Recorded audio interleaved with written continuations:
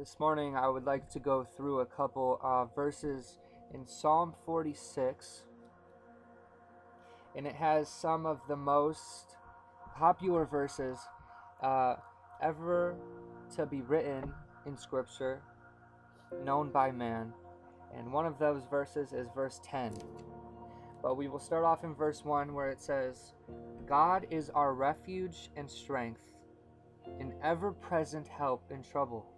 Therefore, he says this. He gives us this statement first. He says, he says, because God is ever present and he's ever helping us. He says, okay, okay. He says, listen.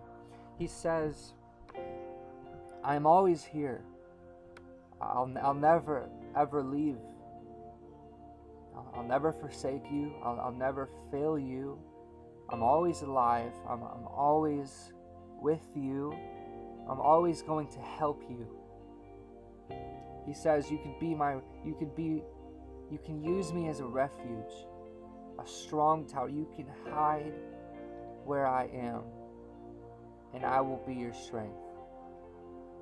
He says, I'm ever present. There's not a moment that you go when, when, when this isn't true.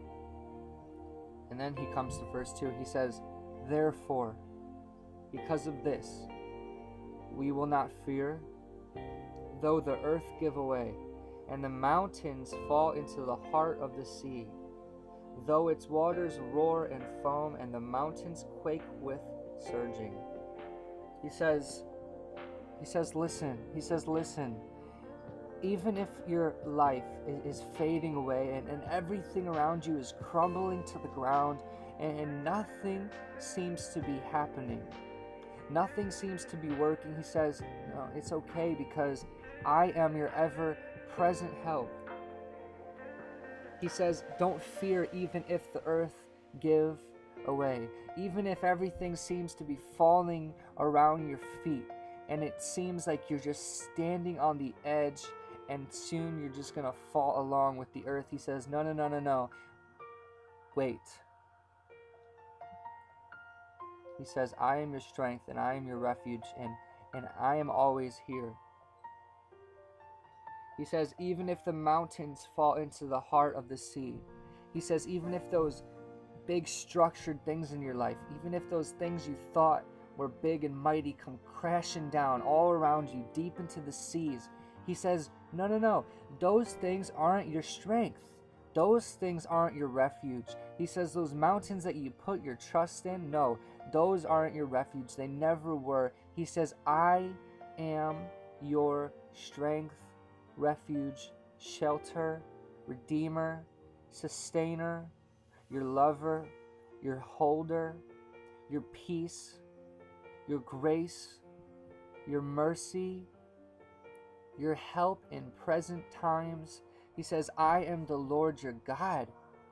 He says, even if everything you thought was holding you up comes crashing down, it's okay because I will never fail you. You know, sometimes I think God brings us to this place where sometimes everything is crashing in around us, and everything we thought we trusted comes falling into the sea. And He says, I brought you here for a reason.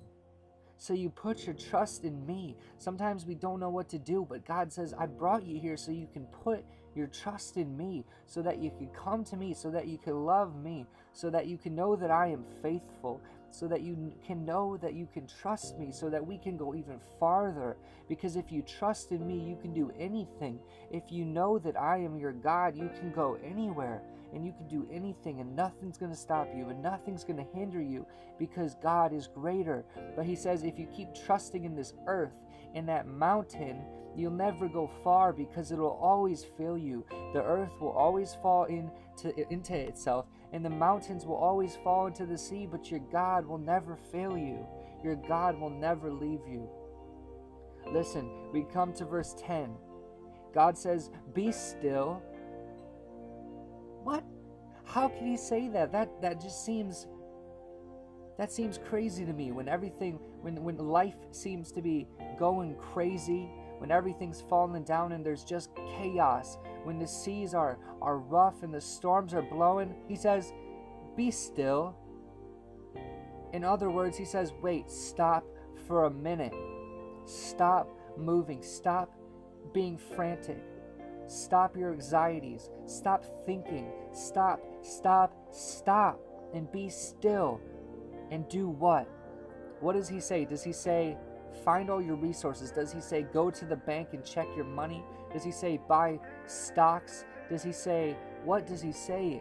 Does he say, go to your friends, go to your family? What does he say? He says, no, stop and know that I am the Lord. He says, If you know that I am the Lord, and, and if you know my truth, then, then there's nothing to fear. He says, You got to stop for a minute, child. He says, I know that it looks rough, but if you keep freaking out, if you keep running around, you're never gonna you're never gonna see what I'm doing. He says, just stop. Stop where you are. Stop thinking. Stop trying. Rely on me. All you have to do is stop and know that I am God. What does that mean? What does that mean? He says, Know that I am God. Know that I am sovereign. Know that I am in control. Nothing can happen apart from me.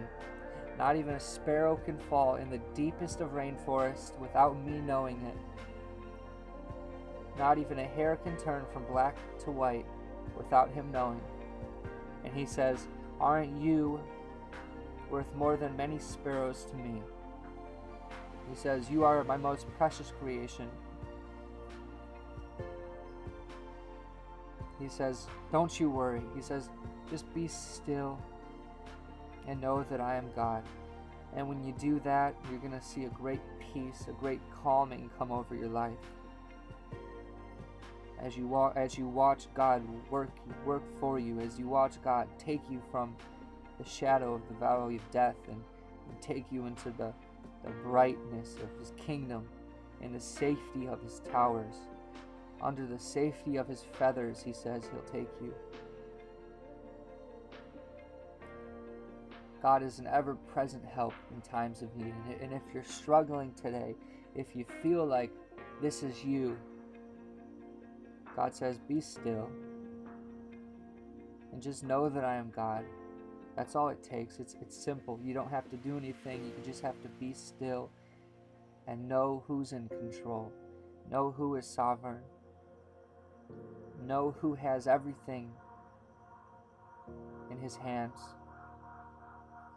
Be still